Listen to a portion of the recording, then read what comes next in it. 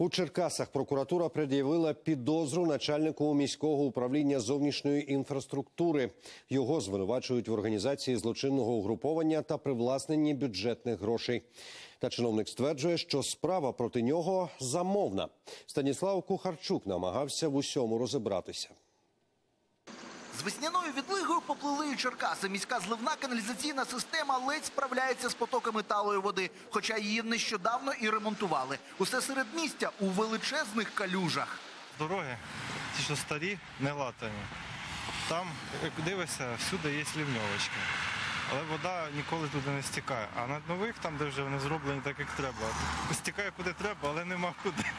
Нічого дивного кажуть прокуратурі. Тут вже два роки розслідують справу щодо привласнення бюджетних грошей під час ремонту зливної каналізації. Слідчі стверджують, принаймні на трьох вулицях роботи виконані з порушеннями, через що збитки склали майже 900 тисяч гривень. Головні підозрювані підрядник, постачальник та начальник міського управління зовнішньої інфраструктури. Не того діаметру були покладені труби, не було е, піщаної підстілки під цими трубами. Тобто роботи були виконані в повному обсязі. Пред'явлена підозра кінцева, е, вчинення кримінальних правопорушень в складі організованої злочинної групи.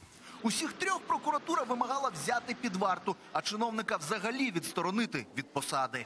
Доброго дня. Ви, ви каву п'єте?